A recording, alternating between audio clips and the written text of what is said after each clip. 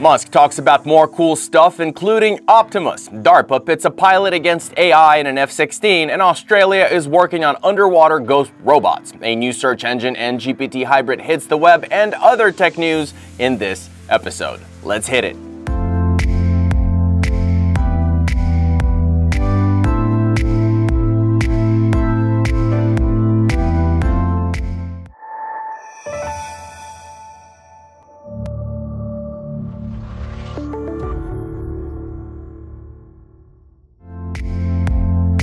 It seems like every week there's a new humanoid robot being introduced. Well, this week there's two. The first is the S1 from Astribot in China, and it's a real gem. Just look at the speed and fluidity with which it handles itself. Looks like sci-fi or CGI, but developers claim what you see is what you get. Top speed of the robot's movements is a whopping 33 feet or 10 meters per second, and it can work with objects weighing up to 22 pounds or 10 kilos per hand. In fact, this speed is enough to pull a tablecloth out from under a stack of wine glasses without dropping them. Hey, what a magic trick.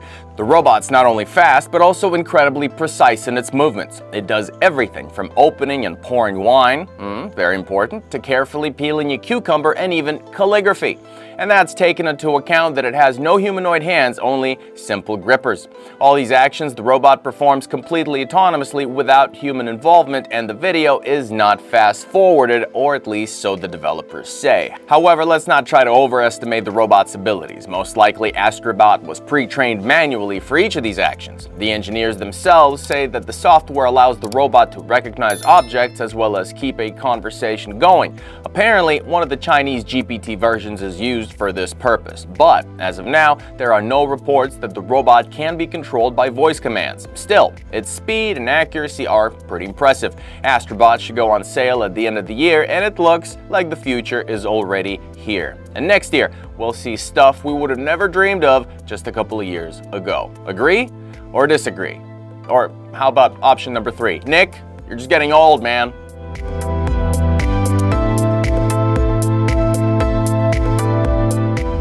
Sanctuary AI has released its seventh generation of the Phoenix humanoid robot. The thing this new robot can do best? Well, learn a new task in less than 24 hours. Phoenix got better vision and haptic feedback sensors resulting in better quantitative data to play with. The new generation of the robot also absorbs human behavior qualitatively, giving its Carbon AI system access to some of the best training data available for a humanoid robot. The new version of Phoenix also has increased uptime, reduced assembly and commissioning, lower cost of goods due to material standardization, and a wider range of motion of its wrists, hands, and elbows, along with increased strength to the entire arm. Sanctuary AI said it further miniaturized the hydraulics, resulting in reduced weight, power consumption, and design complexity. What do you guys think? Where does the future lie? In hydraulics or electric? Chinese company Fourier Intelligence Robotics has unveiled an updated version of its Fourier GR1 robot and immediately released a new video with it. In it, the robot acts as a physical therapist. However, what controls the robot, an operator or AI, the video doesn't say. We think it's an operator, since the company so far stated that the robot is only able to walk independently on difficult terrain avoiding obstacles, and that it's an ideal physical agent for general artificial intelligence, but the AI itself for the robot apparently hasn't been developed just yet.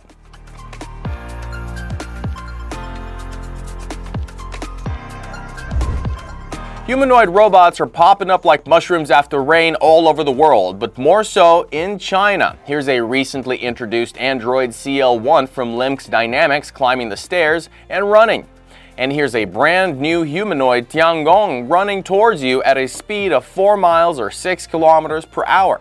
The robot's reportedly equipped with multiple vision sensors, a high-precision momentum measurement unit, 3D vision, and force sensors. It's also capable of solving basic motion control tasks on its own. Yeah, it looks a little unconvincing, but in the future it seems that Chinese humanoid robots will flood the market just like Chinese electric cars. Not only that, but just recently, China unveiled its own version of the Neuralink chip. The implant, which is part of a brain-computer interface, was developed by the state-owned company Beijing Xinzhida Neurotechnology. It's called Neucyber and has already been tested on a monkey.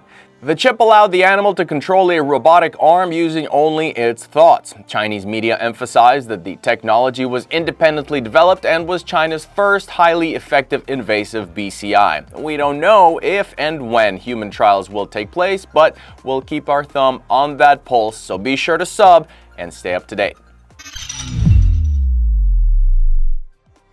XAI has got another $6 billion in development investment. Rumors mention how so many people were clamoring to get their hands on this opportunity to give their money to Elon's new project because everyone liked the presentation so much. In it, for example, the company's goal was stated as to connect the digital and physical worlds. It didn't really explain how that would be done, but it did indicate that the company will use data from all of the entrepreneurs' companies, including Tesla, SpaceX, Boring Company, Neuralink, and of course, X. Sounds dandy, but why stop at 6 billion, Elon? What do you guys think? And Optimus may go on sale as early as 2025. Already this year, Tesla's homeboy will start work in the factories. More online speculation suggests that Musk is betting on Optimus as the future of the company. Our, again, question is, what's it going to be able to do when it launches? That's the big one. Elon doesn't need any advice though. He found a way to stop Tesla's shares plummeting and even brought them back up by 15%. To do this, he promised investors to launch a $25,000 electric car by the end of this year. When we heard that, we immediately knew that compromises had been made. Instead of developing a completely new platform and building a separate plant for its production, remember that one? Elon will build this budget electric car on its old platform and in existing factories. Another thing Musk did was he told investors that currently Tesla is preparing to close a big deal to sell its autopilot technology to a major car manufacturer. Who could it be? What do you guys think?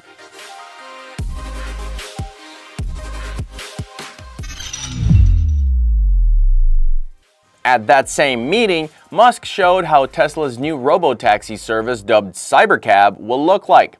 Presentation showed mock-ups similar to the Uber app with the ability to remotely set the temperature in the car before it arrives. Tesla owners will be able to include their cars in the Cybercab system and set rules for their use. In addition, the company will have its own fleet of robo-taxis. Sounds like a disruptive industry is about to take place. And last piece of news on the topic, Musk wants to turn Tesla's fleet into a cloud computing service. Musk, in his trademark style, floated the idea that the untapped computing power of millions of idle Teslas could be compared to Amazon's cloud services business. As the entrepreneur says, if you imagine the future maybe where there's a fleet of 100 million Teslas and on average they have about a kilowatt of computing output, that's 100 gigawatts of computing power distributed around the world. If the cars are just sitting somewhere, he ponders why not put them to good use running AI models. Now, everyone is wondering whether Elon is serious or joking or whether he will ask you for permission to use your Tesla that you bought with your money as a mining operation for some cryptocurrency. What do you guys think?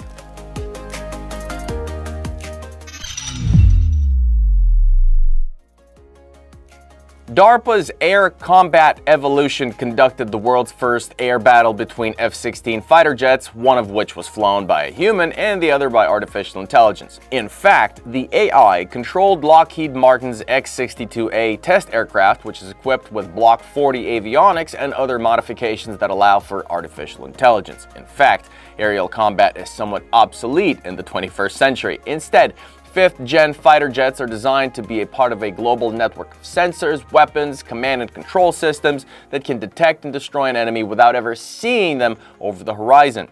This DARPA program is designed to replace traditional ways of developing AI for airspace with machine learning.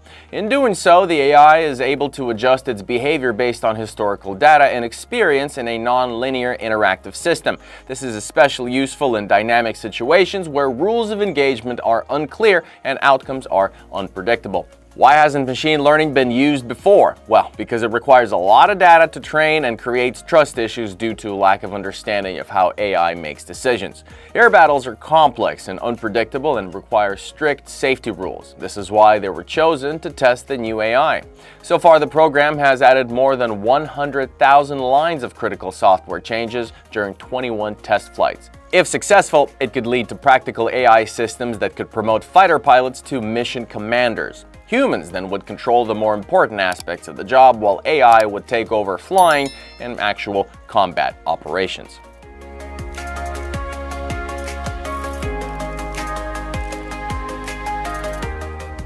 And Australia is working hard on building Ghost Shark, an extra-large autonomous submarine.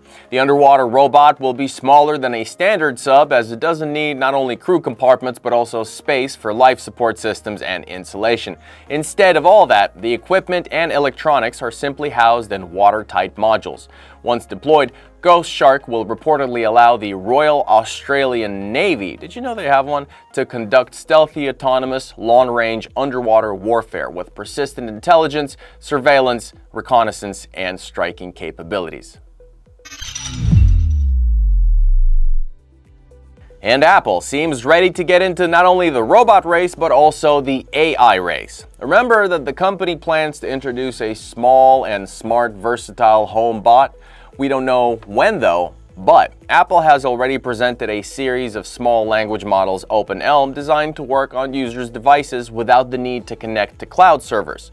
OpenELM consists of eight models of different sizes ranging from 270 million to 3 billion parameters. They are capable of generating text with very low power consumption and without an internet connection. The latter is especially important for applications and users requiring privacy. Apple provides OpenELM models under a sample code license allowing for both non-commercial and commercial use. The license also includes the ability to modify the code, but with the condition that all notifications and warning texts are kept during distribution. The main disadvantage is that the company does not guarantee the security or accuracy of these models. More talk online about the emergence of self-consciousness in artificial intelligence. The fact is that Claude 3 neural network, which we told you about already in March, has shown signs of awareness and self-actualization. This AI outperformed GPT-4 in key tests used to evaluate capabilities of generative AI models.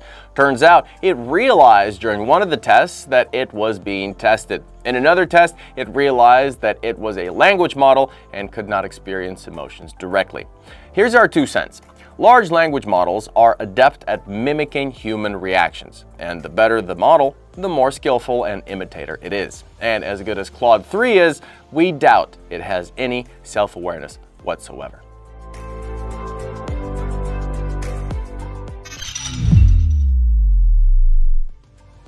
Perplexity AI, a startup that quickly and accurately searches the internet for answers to your questions, has now officially become a unicorn. That means the company valuation has surpassed a billion dollars, with Amazon founder Jeff Bezos, Nvidia, and billionaire Stanley Druckenmiller all investing $63 million in the company. That said, it's too early to talk about competing with Google. Over the past 15 months, the service has gotten a billion questions while Google processes more than 3.5 billion questions every day. And yet, things may change. Perplexity AI service independently processes search results to your query options and gives you a direct and accurate answer with citations and links to sources of information. This is much better than Google's output where you have to open links and look through all of them clicking yourself. At the same time, Perplexity search engine looks like a chatbot and you can clarify the context of your query to get an even more precise answer. It's online. You can go and check it out right now. We'll leave the link in the description below.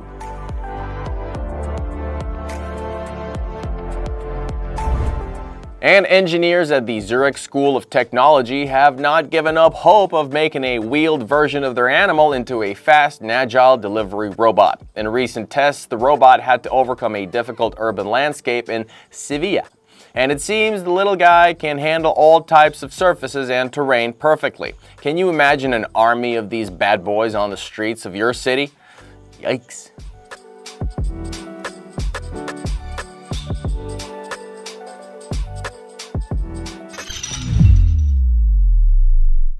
The oldest flamethrower manufacturer in the US has mounted its ARC model with a range of 33 feet or 10 meters on the back of a robot dog and is now on sale. The robot can be controlled remotely via an app and its purpose is to help firefighters during forest fires as well as there are some applications for entertainment. The cost? 9400 bucks. One thing though, the sci-fi nightmare as the media dubbed it is, well to say the least, unstable. The robot's not designed to work near open flames, so most likely it will melt once you get some flames going. Obviously the demo was somehow filmed, but are those lights under the robot's feet CGI or what?